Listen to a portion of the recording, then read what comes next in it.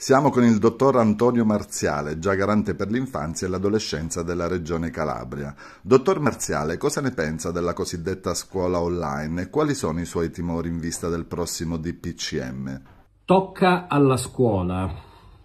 Adesso. Il prossimo DPCM toccherà la scuola. Non tanto per la scuola perché gli operatori scolastici, dai dirigenti ai collaboratori, ai docenti, hanno fatto un lavoro durante l'estate micidiale per garantire le norme di sicurezza previste per uh, il Covid. Il problema è per uh, i mezzi di trasporto e si sta cercando di ammorbidire la linea della uh, ministra Azzolina che è ferma sul non voler chiudere e su questo ha perfettamente ragione. Razionalizzare gli ingressi, fare la turnazione, i genitori mi dispiace si dovranno in qualche modo organizzare nel senso che in qualche modo, sai, dovranno gestire tempi diversi, chi va al mattino, chi va al pomeriggio, saltano un po' di regole, di norme che erano ormai standardizzate, la scuola la mattina, quindi il pomeriggio ce l'avevi programmato in un determinato modo, ma è meglio così piuttosto che chiudere la scuola, piuttosto che immaginare di fare lezioni online.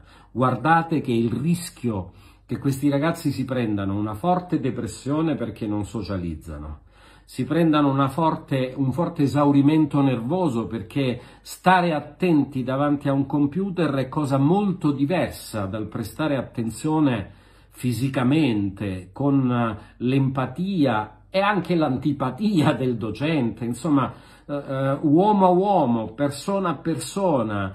Eh, chiudere sarebbe veramente eh, un voler masse eh, depresse perché i ragazzi se perdono la libertà di socializzare perdono la testa completamente e poi bisogna curarli per altro.